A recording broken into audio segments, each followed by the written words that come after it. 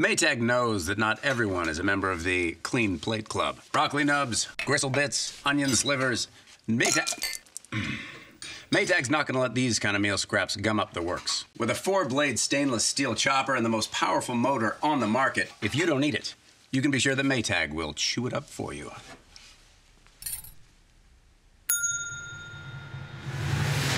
Maytag Appliances, now available at more furniture in Ephrata.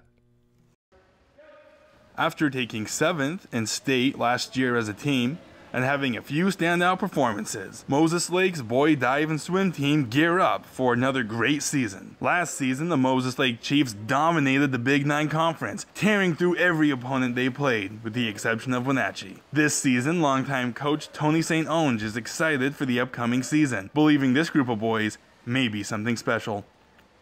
This could be one of the best squads we have in state history. Uh, we have the opportunity this year to put all the relays in the, in the state championship finals. We probably have six or eight guys that can all make state championship finals or consolation finals. We will contend with Wenatchee for a district title. One of those swimmers, junior Noah Heaps, is on board with greatness and looks to build on the success he had last season. Uh, I hope to make the, the state finals in all of my individual swims, and I hope we can contend for the title in some relays. Of course, Moses Lake will have to get through Wenatchee to take the conference, but with such strong confidence moving forward, this team is one to watch. I'm Adam Cichoski for iFiber One Sports.